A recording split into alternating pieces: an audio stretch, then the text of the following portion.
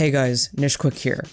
I'm recording this video on February 9th on a Friday, 2024, and it has been a little more than a week since the official release of Persona 3 Reload, the remake of Persona 3. And it's been a week, and I want to give you guys my first impressions on the game. Because those of you who have been following me since last summer when I started talking about Persona 3 and the Persona 3 remake, you guys know I've never played Persona 3 before. I've not played the original Persona 3, never played the vanilla version, I've never played FES. I've never played Portable, I've not played any version of this game. There's so many versions, and this is the first time I'm experiencing it. So I want to tell you how it's going because of course I'm only about like uh, 30 or so hours in. It's a little shorter than Persona 5 Royal, so I'm making good progress, but since it's my first time, since I have experience with Persona 4 Golden and Persona 5 Royal, I want to let you guys know how it's going for me. Just kind of getting my thoughts out there, and maybe, hey, if you haven't given it a shot, if you're on the fence, maybe hearing this video will maybe push you off that fence to maybe purchase the game, or maybe say, eh, this is not for me. I'll play something else instead. But anyways, let's get on with my thoughts on Persona 3 Reload. I have quite a bit to say, and when it comes to this game, I'm gonna start off by saying it took a little bit to get into it, and that's not to say that it was bad. It's not to say the beginning sucked, not to say that I wasn't having a good time. But I feel like the other Persona games really just like had a nice banger of an open especially Persona 5 Royal, that is one of the best opening arcs to any Persona game. Persona 4 was nice because I just liked the environment, I liked where you're living, I liked the characters, and the intro kind of like really eased you into the whole vibes and setting of that game. But what I loved initially with Reload is the presentation, the user interfaces, the visuals. I'm playing this on PC and I'm playing it at max settings on the desktop with 1440p, 120 FPS, reflections on, but then I also switched to Steam Deck. You guys might have seen my Steam Deck tutorial settings video, and I'll talk a little bit about that later, but this game looks so, so, so amazing on my PC. So yeah, the pre presentation, not only the UI and the graphics, but just the whole vibe of this game. The more I played the game, the more I started to see how this game is significantly more dreary, darker, and more melancholic compared to the other Persona games. And I've heard about that. I've seen it in the Let's Plays I've watched and the discussions I've had with various friends, but I'm getting to experience this for my first time, and I'm really feeling that heaviness of this game. I guess that's one thing I can call it. Next thing I want to talk about is the gameplay. I was missing some of the gameplay stuff from Royal. When I started to do the social links, I noticed, oh, well, there aren't the Confidant perks. Well, that's fine, because I learned to work around that, and there's other things that incentivize you to do social activities in the game. But initially, I just realized hey, I'm not doing a whole lot of different variety of social activities. I feel like I'm only going to the coffee shop, I'm only doing the coffee shop part-time job, I'm only going here, I'm only doing this, I'm only going to karaoke. And then when I started to do other things, when I started to prioritize other social stats, when I started to do other part-time jobs, I started to see more of what Tatsumi Port Island, what Iwatodai, what this whole region was like. And then I started to really grow on this world around me. I st started to really get into that gameplay loop because with Royal, I just loved how every single thing I was doing outside of the metaverse really significantly impacted me in the game. And I am feeling that with Reload now. Initially, I it took a little bit to get on my feet because I was like, where are the Confidant perks? Where are the things that are going to help me in Tartarus? And then I realized that a lot of the social stat grinding, a lot of the Confidant stuff, it really lends into the Persona fusions, and that's something I really neglected in Persona 5 Royal. And now in Reload, I'm really getting in there, really spending some time in the Velvet Room to really get personas that are really powerful, with awesome skills, with a nice boost of XP from my social links, and even trying to find some of the personas that'll get my protagonist some of the cool theurgy skills.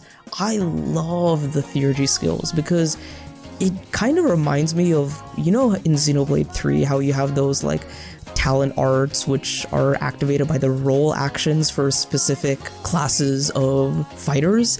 It's sort of similar. If you do a specific thing with that character, if you do a specific action with one of the characters in Tartarus, it'll fill the theurgy meter faster. Like if you inflict debuffs and ailments on characters with Mitsuru, it'll level up faster. If you use buffs and debuffs with Akihiko, it'll level up faster. If you heal with Yukari, it'll fill up faster. Things like that. I thought that was so unique and so cool in a Persona game, and I genuinely like this mechanic way more than the showtimes. And when I started to get into the swing of things with daily life, with social links, with dorm life. The dorm life is really, really fleshed out.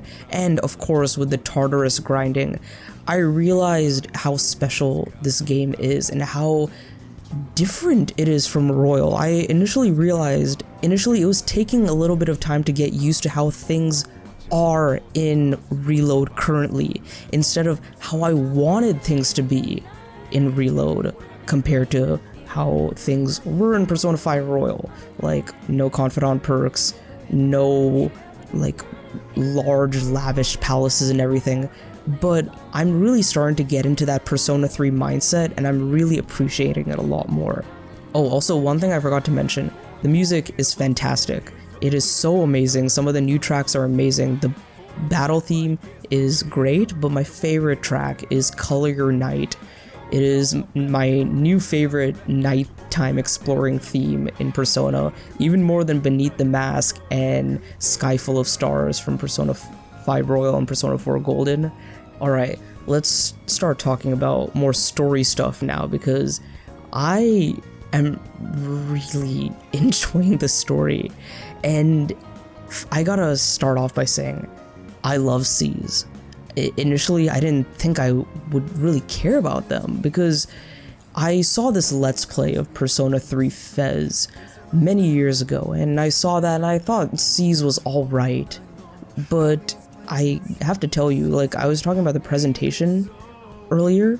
The presentation, not only in the visuals and how the characters are redesigned, but the voice acting. Oh my god, the voice acting takes these characters from just a hey they're likable they're they're cool to like wow i genuinely actually really seriously care for these characters and i have to say some of the really big standout performances for me are heather gonzalez as yukari like wow absolutely phenomenal like i remember a lot of people going into this game were saying oh yukari's not the best character yukari's okay yukari whatever and Yukari is one of my favorite SEES members. I'm being genuinely honest. I really like seeing how she comes to terms with her struggles and how she really overcomes a lot of the hardships she's had in the past. And just seeing her make friends with people around her, especially with Fuuka, with the protagonist, and then slowly warming up to characters who she has sort of given the cold shoulder to, like Mitsuru and Junpei, that's really wholesome to see as well. Another favorite of mine is Akihiko. I just think he's a super cool guy. I love Akihiko. Really, really cool, really badass character. And I'm starting to do more of his Link episodes and I'm learning more about his past. And he's just a really wholesome, interesting, genuine guy that I didn't really care about when I saw that Let's Play of Persona 3 now I care about Yukari and Akihiko so much more, significantly so much more. And of course, Alejandro Saab does a fantastic, fantastic job bringing him to life. I remember I heard a bit of his performance before the game came out, and I was like, whoa, Akihiko sounds like a he sounds like a grown man. I don't know how I feel about this, but it totally fits. It totally fits because Akihiko is like the big brother of SEES Everyone looks up to him. Everyone thinks he's so cool. Everyone thinks he's like so like put together. But just like anyone else, he's got his issues, he's got his problems, but that stern, stoic voice, Alejandro Saab does such a great job with it. Another standout performance is Zeno Robinson as Junpei. I have to say, like, from the three standouts I mentioned, I think he might be my favorite. He is just he you can tell he's having such an amazing time playing this character. He's having so much fun with this character, so much fun with this role, and that energy, that enthusiasm, that passion is really really coming out through this role and shout out to him for an amazing job.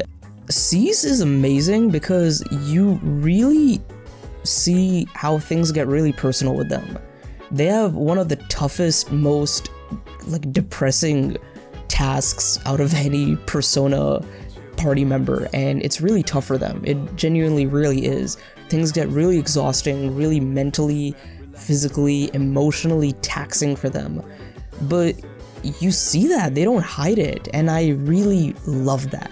I love that they don't shy away from being like, hey, some of this like sucks. I, I don't enjoy doing this. I don't enjoy what's going on right now. I don't want to go to Tartarus. I don't want to put myself through this pain. And you really see that every single one of these characters is going through something, even though they don't talk about it. Some characters might be really hiding it. Like, of course, Junpei is hiding it, and you see, like, sometimes when things get tough, when things get rough, he's just really reserved, he's more aloof. You wanna know more, you wanna know why. And you see Yukari and Mitsuru, who have a really troubled past with their family, and it plays into the story. That's what I love so much about this game. And my friend Arkery was telling me this, and I didn't really get it until I started playing the game. He said, SEES is great because their struggles, their character development plays into the plot of the game. And I I think that's what made me kind of have that disconnect with Persona 5. I love Persona 5, 10 out of 10, one of my favorite games of all time. But when a character's arc finishes, it's done. And I didn't like that. There's no arcs like that in this game. When Ken joins your party, he's gonna be relevant for the rest of the story. I know he is. When Akihiko joined my party, his relevance maintained. When Yukari met me in the dorm for the first time, I knew that she would be like relevant and be pulling her weight and developing as a character throughout the entirety of the story. And that's so cool. Even a character like Shinjiro, I know that I'll get him later on in the story, but he's already being set up as a very interesting, very great, very well developed character. And yeah, I just love these guys so much. I love the story. I will say, I finished the summer vacation kind of arc in the story, and things started to really pick up then. I have Aigis on my team, and things start to make more sense. And I kept saying this in so many videos. I need to play this game for myself to appreciate it. I need to be the one to play this game because I've forgotten things in the Let's Play that I watched. I can't form my own opinion from hearing someone else play this game or hearing someone else talk about this game.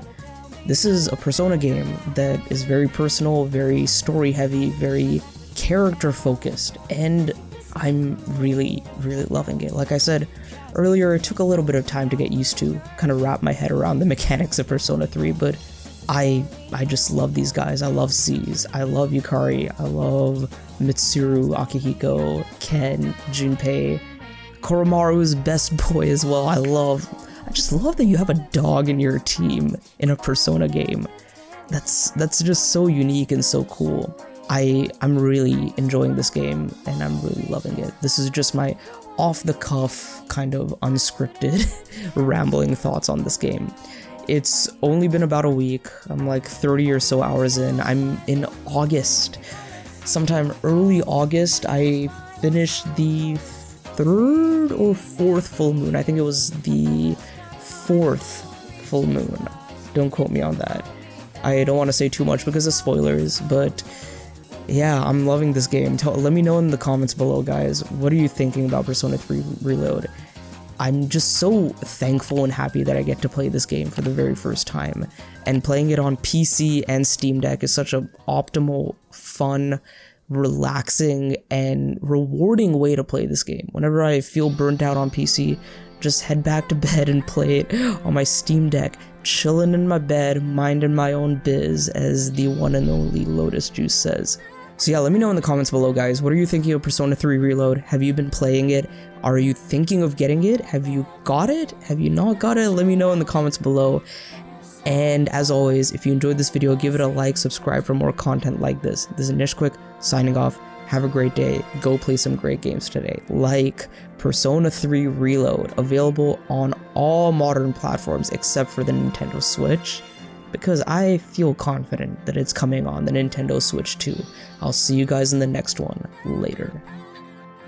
Hey guys, this is Nishquik. Thank you so much for watching that video, and if you enjoyed it, check out these two videos on the left and if you aren't subscribed, why not hit that subscribe button on the way out? I'll see you guys in the next one. Have a great day and see you later.